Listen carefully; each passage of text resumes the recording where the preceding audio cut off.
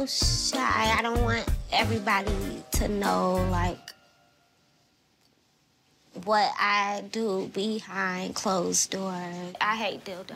I only like vibrators. But that's for Ew, that's for when no, you're that's for when are you're for at home. vibrators are for amateurs, girl. You got to Vibrators get is No, not 'cause for amateurs. That's do not is- true. Uh-uh. People have been like using the tub as a vibrator or some type of since you were like 10 years old. So can you step up your game, please, and get like better sex toys than a vibrator? What? Okay, here's the like pro vibrators. Bitch, it's gold. That means it's gonna knock some dust off that if it's gold. Seriously. Uh-uh. With that toy, you could be there for like a good hour. Your No, that's might be absolutely hurting. ridiculous. That's what No. you need. I don't want none. I want to be an hour. I want my hand to hurt. So my I arm have hurt. one Oh, you one of them. So Angel is definitely a freak. She tries to act all holy, but Angel is a five.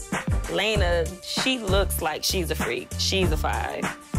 I'm more like a 10 though.